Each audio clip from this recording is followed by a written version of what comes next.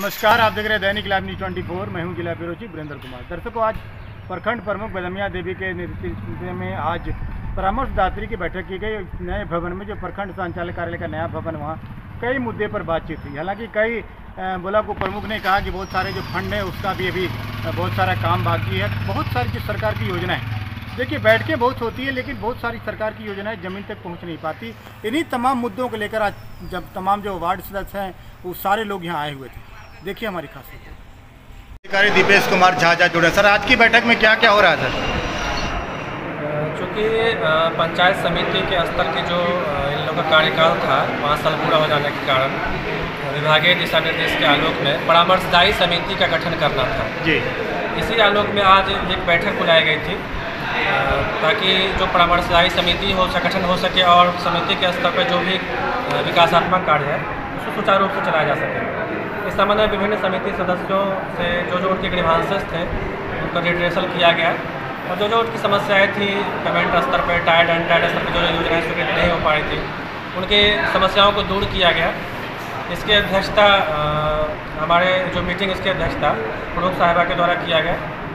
और इनके द्वारा भी समिति सदस्यों को आश्वासन निश्चित रूप से दिया गया है कि जो भी विकासात्मक कार्य है, उसमें कोई किसी प्रकार की बाधा नहीं डाली जाएगी। और स्मूथली काम चला जाएगा मुख्य उद्देश्य क्या था बैठक मुख्य उद्देश्य परामर्शदायी समिति का गठन करना था। उसके अलावा? योजनाएँ पूर्व से ली जा चुकी है टायर्ड एंड टायर्ड में। जी। जिसका टायर्ड वाले योजनाएँ इसका इनका प्रारंभ अभी तक इस कारण नहीं हो पाया था क्योंकि इसमें एक यूनिक कोड दिया जाना है। टायर्ड वाले में पोखर आहार का निर्माण होता है। इसमें डुप्लीकेशन की संभावना ज़्यादा होती है। इस कारण उसमें जिला स्तर से डीडीसी महोदय के आदेश के स्तर से एक यूनिक कोड दिया जाएगा ताकि डुप्लीकेशन ना हो।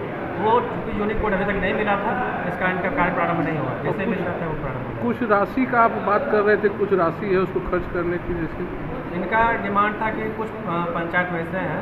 मेरे स्तर से जानकारी में मिली है कि दो पंचायत वैसे हैं जहाँ पर एनओसी नहीं मिलने के कारण कार्य प्रारंभ नहीं हो सका है। जी। जैसे उनकी पंचायत स्तर से एनओसी मिल जाता है तो हम लोग राशि दे के काम शुरू करवा देंगे कौन सी पंचायत है वो? कौन सा कार्य है? बारह जो धमना है। प्रमुख बदमिया देवी जुड़ रहे हैं। आज मैडम क्या क्या हुआ मीटिंग में?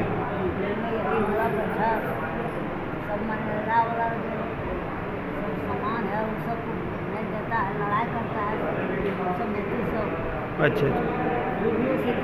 हम्म, करेगा ठीक ठीक।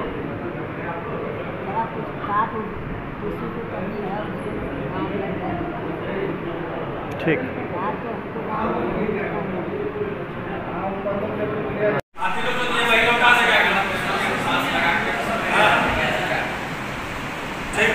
और बताइए